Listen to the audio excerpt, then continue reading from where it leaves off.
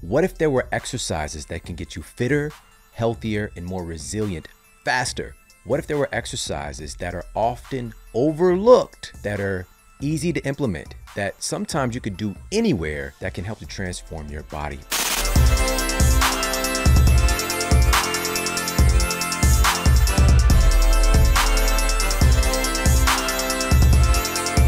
Some of these exercises are going to have some familiarity. Some of them are going to seem kind of brand new. And also, even the ones that we might know about, you're going to find how to utilize them in more efficient and effective ways. So let's go ahead and dive in. Number one on our list of the four most overlooked exercises that can get you fitter, healthier, and more resilient faster. Number one is jumping rope. This exercise provides some invaluable benefits that you need to know about right now. Backed by a plethora of peer reviewed studies, jumping rope can improve your metabolic health, balance, coordination, and explosive power like few things can. It's noted from a muscle perspective to target everything from your grip muscles to your core to the muscles of your glutes, hamstrings, quads, and calves, and more. But if you look a little deeper, you'll find some of the most remarkable benefits from jumping rope is the impact that it has on your bone density. For instance, a study published in the Journal of Bone and Mineral Metabolism detailed how jumping rope can improve the bone density of swimmers. Now, swimmers are at a seemingly competitive disadvantage when it comes to building bone density because they don't have that gravitational weight on their bones and they're spending a lot of time in the pool. So, to counteract that, these researchers we're trying to find ways to build bone mineral density and finding that jump rope shot right to the top. Now, why does this really matter? Well, our bones are critical for our longevity. Our bones are literally the framework that our body is built on. Now, this goes far beyond what we might be taught in our conventional biology and human anatomy and physiology classes. What I wasn't taught in my university classes was that our bones are a reservoir for many different anti aging compounds. Yes, a reservoir for minerals and the like, but also for things like stem cells. All right, in particular, the bones around our pelvis, our spine is incredibly important, obviously, just for our stability and our longevity. So we want to have robust, healthy bones. We want to have a nice, robust skeleton. Shout out to Skeletor. All right, now what about outside of the pool? What are some of the benefits seen in peer reviewed data? Well, an additional study included a meta analysis. This is multiple studies published in the journal Sports Medicine, revealed that jumping rope can significantly improve bone mineral density in at risk groups for bone degeneration, like premenopausal women. So, this is something that we can add to the mix to help to stave off degeneration that can help us to have more longevity and functionality as we move on later in life. And this form of activity is remarkably safe because we might think like, well, I don't know about jumping and jumping rope and things like that. Well, our body really does function on this premise of use it or lose it. That's really the big problem if we're going from not ever doing these motions to doing, you know, several rounds and several days of this type of training without easing into it, that can be the problem. But a meta analysis of multiple studies, again, looking at participants 50 years and over, including 13 different training groups, found that jump training, including jump rope training, is safe and effective for older adults, and in particular, effective at building and maintaining bone health and muscular power. Now, what else makes jumping rope so remarkable? Well, jumping rope is potentially a faster way to change your body composition than conventional, quote, cardio. A study cited in the Journal of Physical Therapy and Science randomly assigned overweight young adults into one of two exercise training groups. One group did jump rope training, while the other group did training on a stationary bike. Both groups had improvements in their fitness at the end of the study period, but the researchers found that cardiovascular capacity was improved more in the jump rope exercise group than the stationary cycling group. And body mass index was lower in the jump rope exercise group than the stationary bike group. All right, now let's look at another vital capacity of being able to move throughout our days, to develop spatial awareness, to be able to effectively and efficiently move throughout our lives and be able to work and to play and to do the things that we want to do long term. And this is balance and coordination. Many people now realize that as people move into older age brackets, there is a heightened tendency towards falls and subsequent breaking of bones. And this, in and of itself, number one, to be more resilient in the face of that. Number two, to reduce the risk of falling in the first place. And number three, dramatically increasing the ability to recover if an injury should occur. This speaks to the importance of proactively building and working on our balance and coordination and associated muscles involved. Now, we've already touched on some of the data in increasing bone density and fitness regarding jump rope, but we're going to move this all the way back to earlier in our lives and setting the foundation for having better coordination and balance throughout our lives. And we're going to look at a very interesting study published in the Journal of Sports Science and Medicine. And it took kids who were soccer athletes and split them into two groups. One group did jump rope training at the beginning of their training session. The other group, the control group, executed soccer specific drills at the beginning of their training session.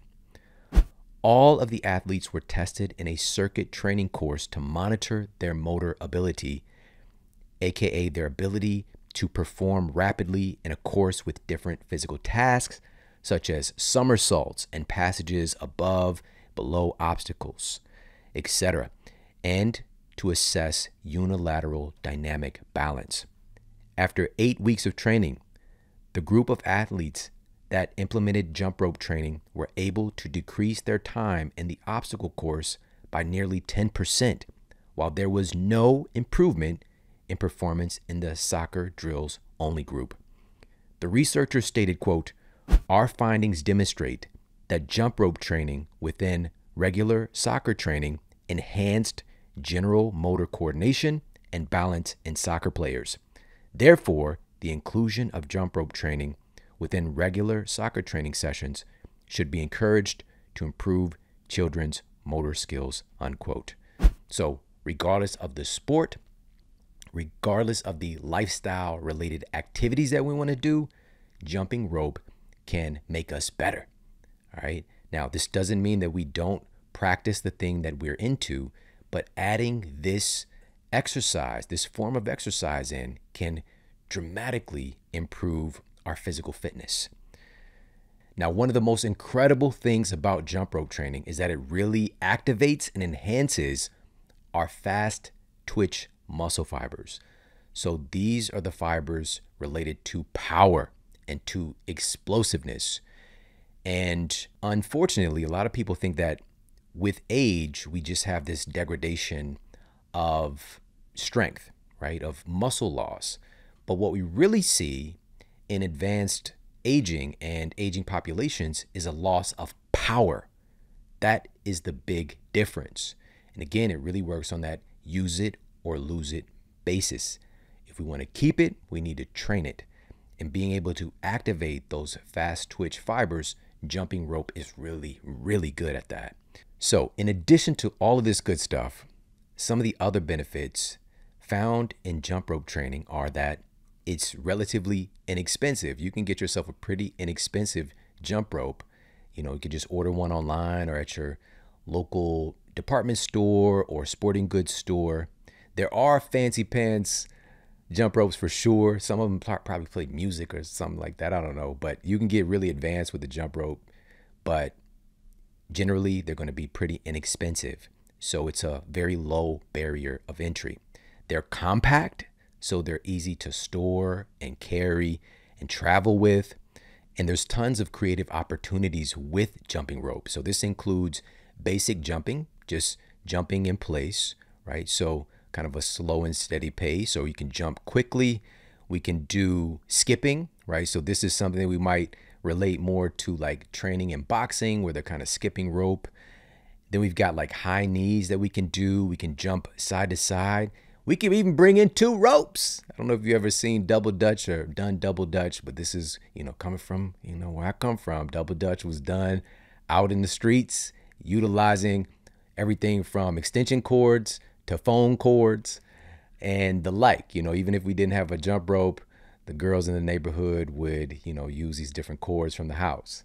And it was a vibe. And so we've got that. We've got, you know, with the jump rope, we can jump side to side, move around. Again, there's like endless possibilities here in how we're using the rope. We can do double unders. This is where we swing the rope under ourselves twice per jump. And all of these are learnable skills as well. And again, most importantly, it's are we taking advantage? This is something that is a low barrier of entry. It is inexpensive. And being that it's so compact, it's a great tool that we can travel with and be able to get in some really valuable exercise no matter where we're at. And by the way, when I was doing my jump rope training this week, and this is something that I like to add either at the beginning or end of my workout, kind of bookend my workouts one of the things that I've been implementing prior to my workouts and experimenting with. So, if you're wanting to really get the most out of your workout, to bring your best to it, to really fuel your performance, whether it's in exercise, in training, or you're training for a specific sport, my favorite thing to do right now pre workout is to utilize Ketone IQ. Numerous studies, including a study published by the Federation of American Societies for Experimental Biology, aka the FASEB journal found that exogenous ketones can be up to 28% more efficient in generating energy than glucose alone. Plus, other studies have found up to a 15% increase mean power output after recovery utilizing ketones. So, there's these little ketone shots. I keep them in my refrigerator all the time. I knock I even had one before the show today because of all the benefits related to cognitive function. And it's one of the few things that I noticed immediately, like day one. Now, for some people, it might be a couple of days. And again, this is always going to be based on our own unique metabolism. But for me, I noticed that improved performance and most notably an increase in my stamina and my recovery afterwards. It was just kind of like the sustained, really cool energy that I had to share more about and get people educated about. And so if you want to check out Ketone IQ, go to hvmn.com forward slash model. That's hvmn.com forward slash model. And they're going to hook you up with 30% off your first subscription order taken off automatically. All right, so that's hvmn.com forward slash model for this incredible pre workout and really pre performance for cognitive function and for stamina, endurance, and the like. Now, moving on in our list of four overlooked exercises that will make you fitter, healthier, and more resilient faster. This one is related to a lot of iconic moments in training, in film. Thinking back to the iconic movie Rocky, right, Rocky Balboa, and that montage this this took montages to another level. And when he ran up those stairs with the city behind him, iconic. Those stairs hold something really special when it comes to fitness. Many of the same muscles that power your body through squats and lunges are used to propel you up stairs. Quads, calves, glutes, and core to name a few, but what makes going up a flight of stairs so unique and uniquely challenging is that stairs force you to work against gravity in the most remarkable way. Because stairs are much steeper than most hills you'll ever encounter, and because of the alternating single leg presses you have to execute to drive yourself upwards, climbing stairs tends to accelerate your heart rate faster than other forms of movement and makes you breathe faster to take in more oxygen. The combination of swift changes to your heart rate and breathing that happens when you encounter stairs is one of the reasons that climbing stairs for exercise is one of the fastest ways to improve your VO2 max. Now, your VO2 max refers to how much oxygen your body can absorb and use during physical exertion. And it's one of the best measurable markers of cardiovascular fitness. A randomized controlled trial published in the British Journal of Sports Medicine took a group of inactive young women who were otherwise healthy and split them into two groups. One group was designated to a stair climbing program, while the other group functioned as a control group who didn't change their exercise habits. In the stairs group, the stair climbing was progressively increased from just one ascent up the stairs a day in week one to five ascents a day in weeks seven and eight. Training took place five days a week on a public access staircase, which was, by the way, 199 steps, at a very moderate stepping rate of 90 steps a minute which this ascent up the stairs for the participants took about two minutes to complete.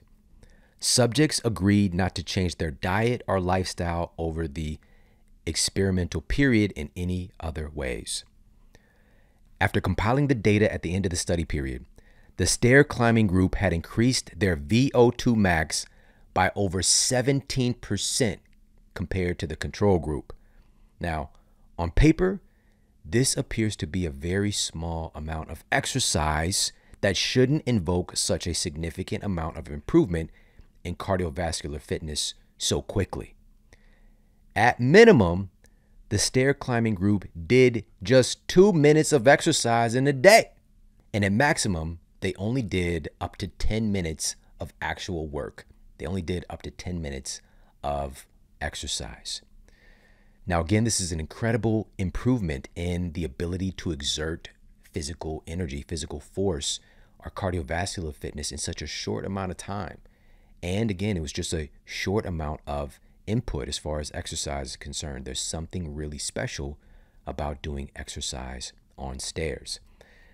Now, regardless, this is the key, regardless of what physical fitness level you're at, if you don't regularly train on stairs, and even if you do, you will find yourself winded going up a flight of stairs. And then you're telling yourself, probably like, man, I really got to work on my cardio.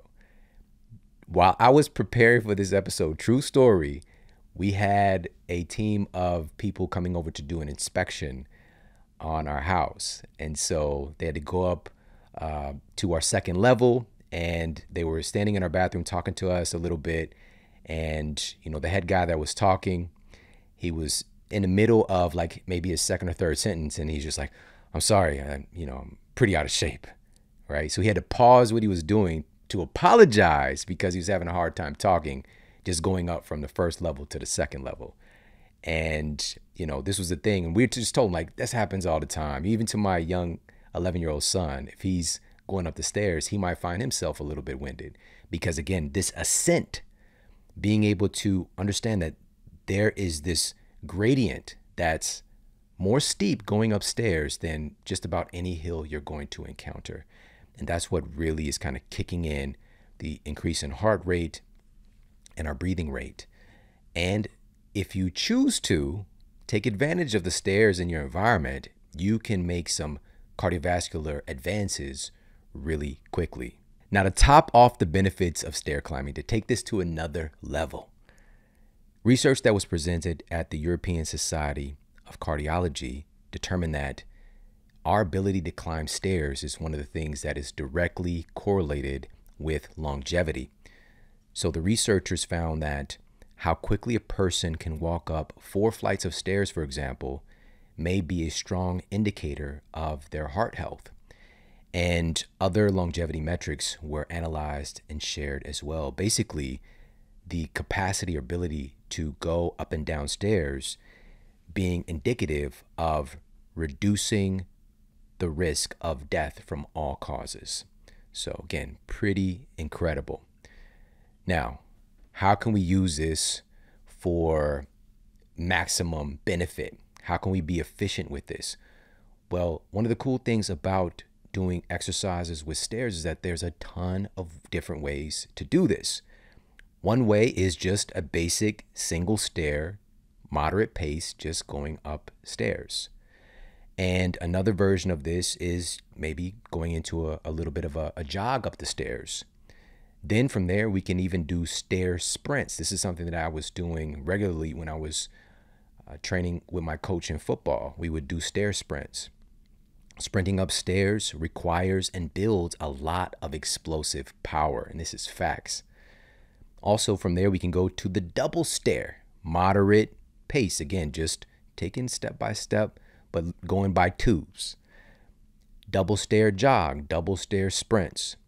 Now, doing stair sprints is something that I just did. I just took my family on vacation. They had a long staircase at this particular resort, and I was like, oh, advantage. All right, this was a great opportunity. And being able to pay attention to our environment, to utilize our environment, to have fun, to evoke fitness, to challenge ourselves.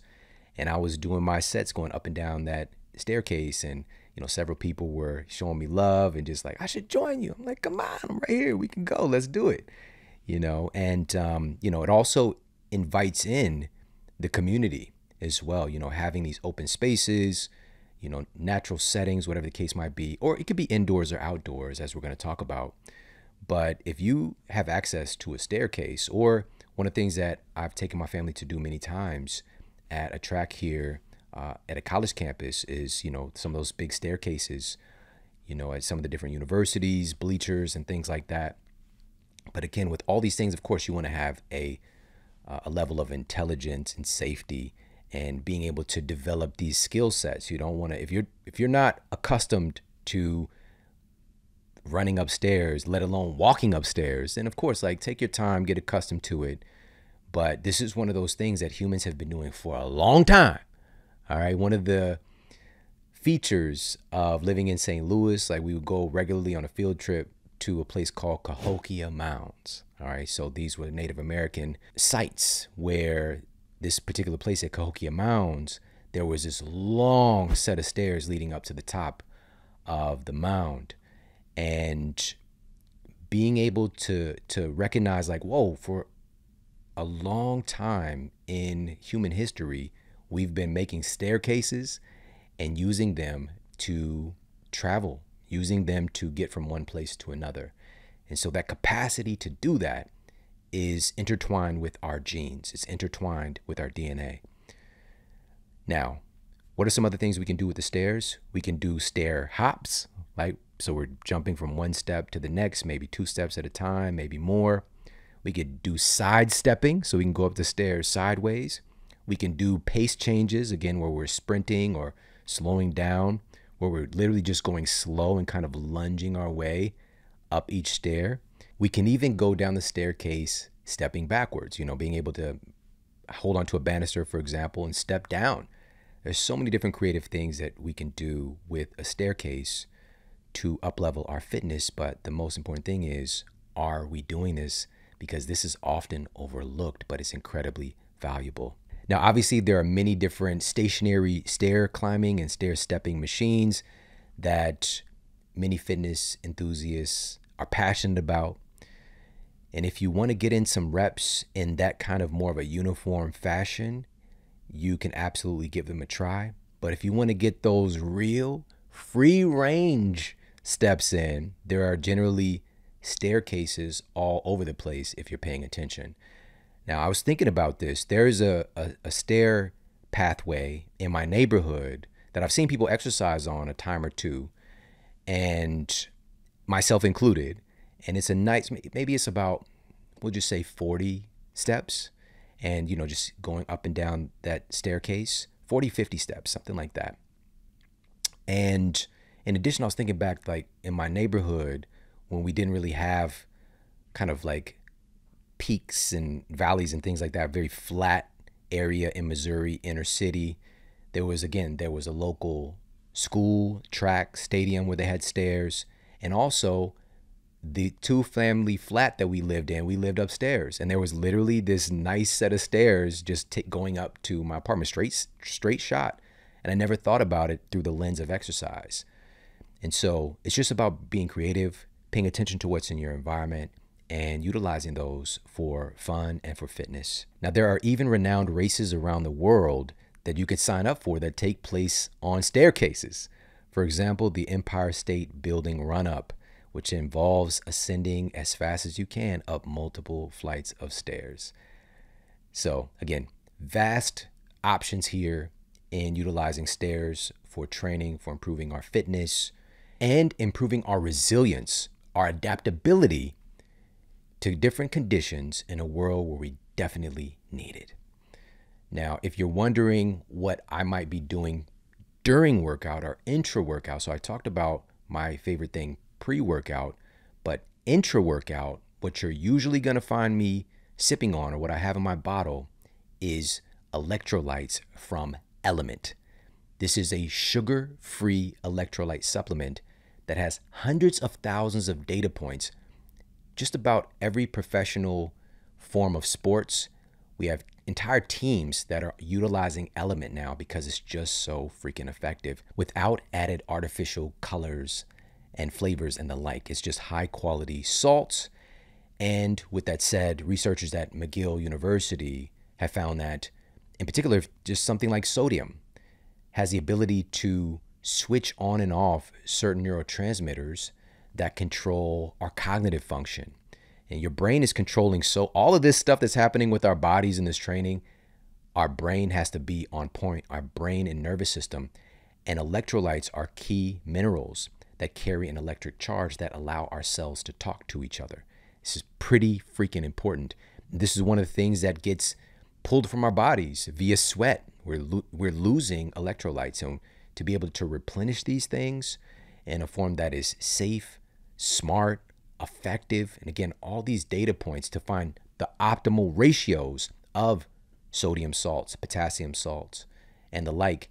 That's what you find with Element. Go to drinklmnt.com forward slash model. And not only are you going to get the very best electrolytes in the world, they're going to send you a free gift with every purchase. All right, so definitely pop over there, check them out.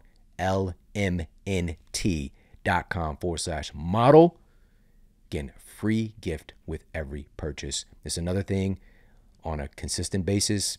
Pretty much every day, I'm utilizing Element, and my family does the same. All right, now moving on to number three on our list of the four most overlooked exercises that will make you fitter, healthier, and more resilient. Number three is something called offset training. Now, this is also known as unilateral exercises. And these are strength training movements that require one limb or one side of your body to work essentially independently or at different levels of resistance than the other side of your body. Now, if you think about things that we do in real life, if you think about the things that we carry in real everyday life, carrying groceries, luggage, sports equipment, beach gear, carrying kids. It's almost never balanced evenly. That's just not how life comes at us. And offset exercises have a specific impact on core strength, balance, coordination, and your psychology like no other exercises have. You may have actually heard the term stabilizer muscles before. Well, a meta analysis of over 70 studies published in the journal Physiotherapy Canada examined the research regarding stabilizer muscles, detailing these unique muscle activations that provide joint stability in thousands of potential movement combinations, motor control, and overall improvement of function when we train them. This is what offset training targets like nothing else can. It's able to wake up sleepy, underused muscles to improve your physique, reduce your risk of injuries, and improve your performance and longevity. Now, let's talk about what offset exercises can look like and how to utilize them. Now, different exercises are obviously going to target different muscle groups. And one of my favorite offset exercises is a single hand farmer's walk or offset farmer's walk. So this is picking up a heavy implement, uh, a dumbbell or a kettlebell or a person, all right, and carrying them just on one side, one hand, over a certain amount of distance. You know, maybe that's 20 yards, maybe it's 50 yards, whatever the case might be. But carrying something heavy, and when you grab that weight on one side, we'll just say I'm picking up a 50 pound kettlebell on with my right hand. My left side is going to be highly activated to keep me upright and stabilize me, right? So the muscles of my obliques, my core muscles, my erector spinae on on my other side, all these muscles on my opposite side of the body are going to be active to keep me erect, to keep me up tall. Now, shout out to keeping erect. Now, just keep in mind with that, we can also add in a offset carry. So I'm carrying maybe a 50 pound kettlebell in one hand and maybe a 20 pound kettlebell in the other hand right? And my and my body is going to kick into high gear, my my nervous system, my muscles to sort this out and keep my body balanced. And obviously I want to switch hands and do the opposite for an equal amount of time, but it's going to ch- challenge your muscles and your nervous system like few things can when you have these offset weights. Another one of these is an offset waiter's carry, like a waiter at a restaurant, for example. We're going to take a dumbbell or kettlebell and press it overhead while holding another kettlebell or dumbbell in my opposite hand down at my side. Right? So I'm going to walk a certain distance and then I'm going to alternate. I'm going to bring the one that was lifted up down to my side and press the other one up overhead and do the same distance. Another version of offset exercises that I love is an offset dumbbell or kettlebell squat. This is one of my favorite exercises because of its impact on obviously the lower body, but in particular, your core stability. This is great for your lower back muscles, your transverse abdominis, your obliques, all that stuff. So basically, I'm gonna take the kettlebell or dumbbell and I'm gonna hold it up close to my chest and shoulder area. And I like to hold my other hand, my opposite hand that's not holding a weight out in front of me. And I'm gonna perform a squat like that. So I've got maybe, we'll just say a 30 or 40 pound kettlebell on this side, but you know, whatever level it's at, I, I do this stuff with my youngest son as well. You know, uh, he's 11 years old. And so maybe he's holding a 10 pound weight in one hand, you know, again, tucked in with his chest and up close to his shoulder and arm out in front of him. The, uh, the opposite arm is out in front of him. That's weight free and just performing a squat like that. Maintaining good form because what would happen if all these stabilizer muscles didn't kick into gear is that that weight would tip us over when we try to squat or when we try to stand up. And you're going to find like your body knows what to do to stabilize you. But you want to make sure that you're keeping in that pocket, keeping good form. And again, this is one of my favorite exercises. It's a great rehab exercise as well. If you've experienced some kind of a, an injury to your core or a lower back or things like that, it's very uh, rejuvenative to those muscles. Now, the person that first introduced me to offset training is a world renowned strength conditioning coach named John Wolf. And John, when he took me through some of these different training protocols, this was at the gym at Onnit headquarters in Austin, Texas. And I flew down there for some media and things like that, but I got to train with John and it was incredible. This was maybe like eight years ago, and it stuck with me till this day. And also the tools that he introduced me to, I'd never used something like a steel club before. And a steel club it basically looks like a, a baseball bat that might be like 20 pounds, right? Or 25 pounds or 15 pounds or whatever the case might be. And these steel clubs have been utilized for centuries in training by different warrior guilds. And so holding the club in, in both of my hands, just one club, and going into a squat while simultaneously dropping the club lightly onto my shoulder, right? And standing up and bringing it back in front of me and if you're watching the video version of this episode, we're going to put up some of these different exercises so you can actually see what they look like. So I highly encourage you to pop over to the YouTube channel. It's the Model Health Show on YouTube. Make sure that you are subscribed to the channel. And if you're watching on YouTube, hit the subscribe button. What are you doing? All right, so steel clubs and also training with steel maces. So the steel mace is a long rod portion with a heavy ball at the end. Again, this is immediately invoking offset training just by using a tool like that because the weight is unevenly distributed. And by the way, you can get these tools at onnit.com forward slash model. They've got 10% off all of their fitness equipment. And I've just been picking up a piece here or there. Like, probably on average, I'll maybe get like two to three pieces of equipment each year. And over the years, now I've got like this whole amazing collection of these tools that my family uses like all the time. Not every day, but almost every day of the week. One of my family members are using the tools from Onnit. So, huge fan of their steel clubs, their steel maces, their primal kettlebells. Actually, we just did a an offset hike. All right. Now, what what do I mean by that? My sons and I went for a hike together over the weekend, and my oldest son went and grabbed one of the primal kettlebells. So this is the Howler Monkey. All right, so it's got this cool Howler Monkey face on it. It's 18 pounds. And he grabbed it for us to take with us on the hike. And basically, we were taking turns carrying this bad boy. And it was a hike, very, very steep climbs, going downhill as well, different terrains. And him, my 22 year old son, myself, and my 11 year old son all had our, our, our times carrying it. And again, it's going to activate those other stabilizer muscles. And my youngest son, he carried it during the hardest portion of the hike. He wanted to.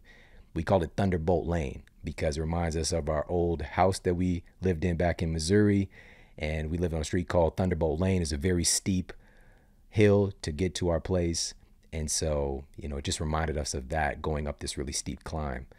And uh, he did it. You know, he was actually because I was in, in, the lead at that moment. He was like, "Dad, you got to hurry up," because he was just had his rhythm going, and he got to the top, was able to offload it to us, and you know, it's just cool things that we can do together as a family to challenge each other, and you know, families that train together remain together. So that's another cool way that we can utilize offset training. Uh, another thing that I learned from John Wolf at Onnit, again, it's onnit.com forward slash model for these different pieces of equipment. Another thing that I learned from him was offset barbell training. So, uh, a standard barbell is 45 pounds, and putting a weight plate on one side of the barbell and doing different exercises with that. You think that you're fit, but fitness is really specific to certain things that we're trained to do. When you try to pick up a barbell with even a 10 pound plate on one side, it's going to really humble you. Like, whoa, I can't, it's very difficult to control this. And so doing deadlifts like that, being able to do overhead presses like that, so many cool things that we can do with offset training and wake up muscles that we hardly ever, if ever, are using. And again, it keeps us more adaptable and resistant to injuries in the real world because very rarely are we interacting with even weights. Now, some other ideas for offset training that I absolutely love are offset lunges. So, holding a kettlebell or barbell up to, again, my chest, upper chest, shoulder area, and performing lunges with the weight on one side. Doing Bulgarian split squats. Bulgarian split squats have been around a long time, but they are hot right now. All right, they're hot on the streets, one of the very best exercises for our lower body, but also these various stabilizer muscles. So this is where you're essentially putting one foot behind you up onto a surface that's a little bit higher than the ground that you're standing on and performing a split squat or a modified type of lunge in a way and really focusing on that front leg driving you upwards. Then we have pistol squats, for example. This is where we're going into that single leg squat with the opposite leg that you're squatting with going out in front of you. And you can do variations of this where you are doing a chair pistol squat, where you're just putting one leg out in front of you and standing up with one leg and then sitting back in the chair. There's, you know, assisted things that you could do. You can hold onto a band or a TRX or something like that and be able to do single leg pistol squats. We've also got single leg RDLs, which is another exercise that's incredible for reestablishing health and functionality to your core area that intersection with your hips and your lower back. So RDLs are Romanian deadlifts. And we can also do things like single arm chest presses, right? So grabbing your dumbbells. So maybe you're doing a set, grabbing a couple 50s, or if you're like me, a couple hundreds. But you're grabbing a couple of dumbbells and you lay back on the bench. You can hold one at your side, right? Hold one next to your chest and kind of the, the bottom position of the press and press with one side. Now I'm not doing hundreds with the with the single arm, okay? I'm not saying that, all right? So I don't want to put that out any any uh, gossip out there on the streets that I'm doing that. But you know, so maybe I'm using some 50s or 60s because that's going to be a little bit more um, easy for me to manage because again as i'm pressing one side like it's taking a lot of effort by so many parts of my body to keep me stable. And i might not realize it but it's happening. And so i might complete maybe you know eight to ten reps on one side then i put the dumbbell i've lifted in in the resting position and press with the other side. Or maybe i do alternating push one up the right bring it down left bring it down right bring it down or there are so many other ways i can go about this I could use different weights, right, in one hand and the other and press at the same time. I can hold one up in position, in press position, while pressing the other side, right? There's so many cool ways to go about it. And same thing with the opposite motion of pressing, pulling. We can do a wide variety of single arm rows and pull downs, different variations of that as well, utilizing everything from cables to dumbbells and the like. So, highly, highly encourage you to implement some offset training into your exercise routine. And this is something again you can add as a a little bit of a supplement or a little bit of a side dish to your training, but adding in some offset training a couple times a week is going to make you fitter, healthier, and more resilient. Now we're at our final one of our four overlooked exercises that will make you fitter, healthier, and more resilient. Number four is pushing and pulling heavy objects over longer distances. Things like cart and sled pushing are all the rage right now, and for good reason. Pushing or pulling sleds, weighted sleds or carts, things like that, this is something that humans have been doing for thousands of years. Again, humans have been pushing and pulling objects over long distances for thousands of years. Whether it's a wheelbarrow, travois, or any other invention, our ancestors would push or drag food that was hunted or collected, supplies for building things, and even people who were injured or incapable of keeping up over long distances. And so, for example, the Native Americans had a travois that was created that they could drag things over long distances, you know, basically creating a surface to lay food or people on and be able to drag that. And again, humans have been doing this for a very, very long time. So this is one of those things that our genes are looking for this particular input to push or pull things over distance. Now, a 2019 study published in the Scandinavian Journal of Medicine and Science in Sports examined the effectiveness of loaded and unloaded sled pushing for sprint training in 50 high school athletes. The researchers divided the athletes into four groups one group without resistance, and three groups with varying levels of resistance on the sled light, moderate, or heavy amounts of weight. All participants performed two sled push sessions twice a week for eight weeks. The researchers determined that pushing a sled with any amount of load is superior to doing non resistance sled pushing. All participants who had weighted resistance in their sled push training had significant improvements in their sprint times up to 20 meters. So, in particular, that first part of the sprint, they had significant improvements by doing sled pushing. In addition, they found that pushing heavy loads in particular produced the greatest gains in their sprint performance. Now, depending on what type of sled pushing or pulling you're doing, it can train everything from your quads and hamstrings and glutes, calves, abs, back, shoulder, and more. It really is a total body exercise depending on how you're using the sled or the cart or whatever you might be using to push or pull. Let's talk about some different training techniques and methods. And by the way, if you're like, where can I find a cart or a sled to push? Many gyms now have these. These are things that you could find and have delivered to your home.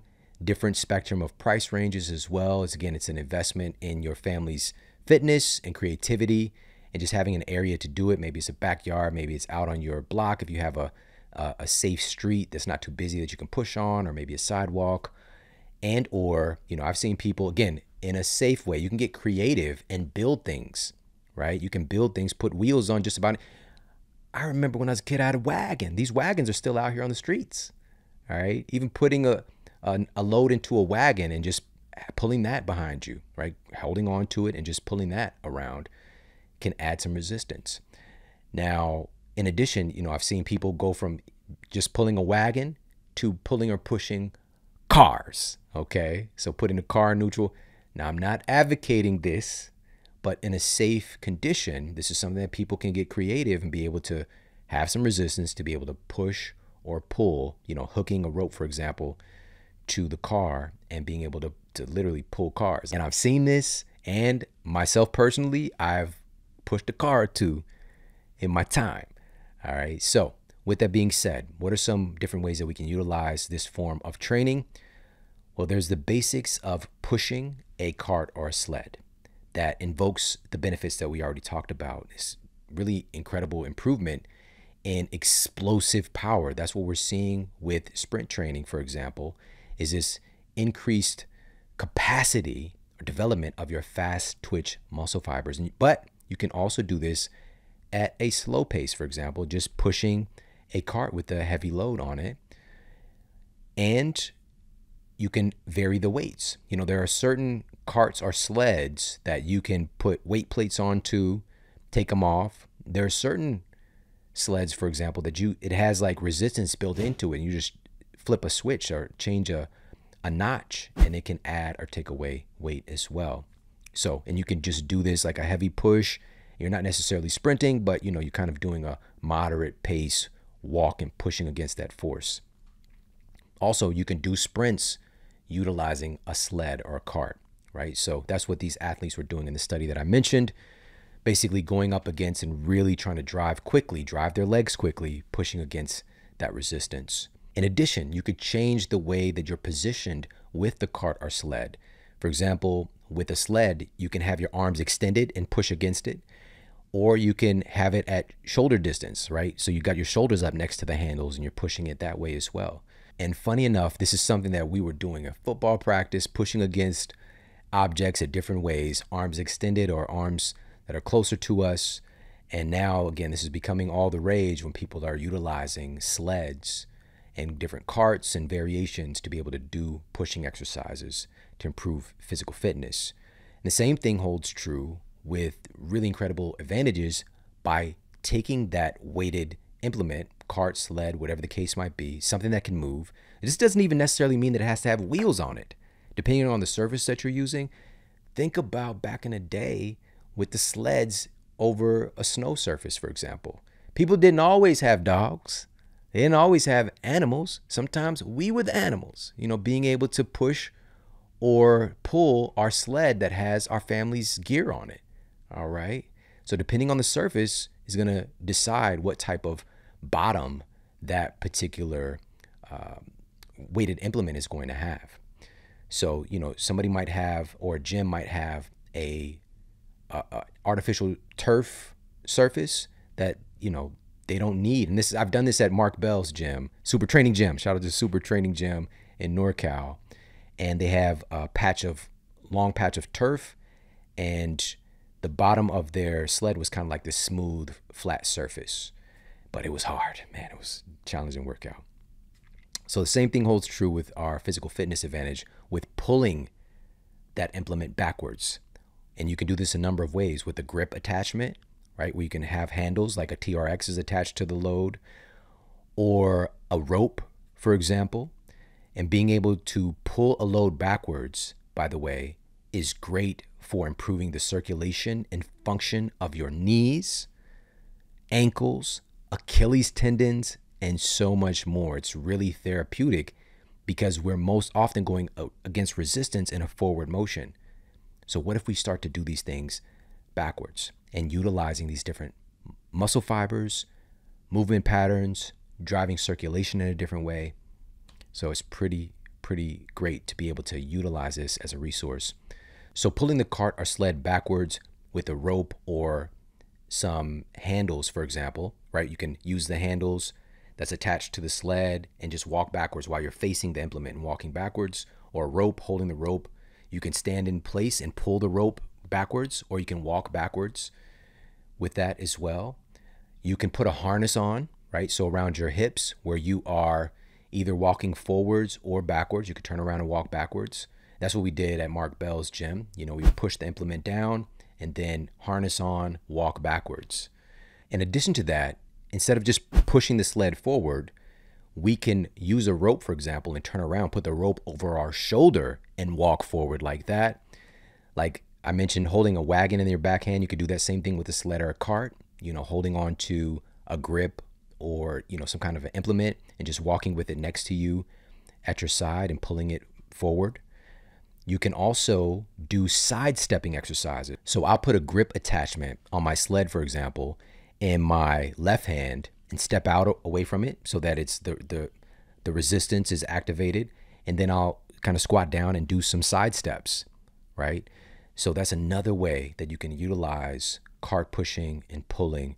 And there's so many other creative ways to go about this, but this is one of those things that your genes expect you to do stuff like this, and we can find creative ways to take advantage of movement patterns like this. I hope that you got a lot of value out of this. And most importantly, is putting these things into action. Just pick one of these things that jumped out to you today that really is just like, I got to try that. Put it into action. Do it tomorrow. Add it in. And that's what it's really all about because it's one thing to learn about all this incredible science, it's another thing to know it experientially because you put it into place in your life. Hey, if you like this video, make sure to check out this video right here to uplevel your health today. Now, vitamin D is primarily produced in the skin in response to UVB radiation from sunlight. And of course, we know that it can be absorbed through the food that we eat.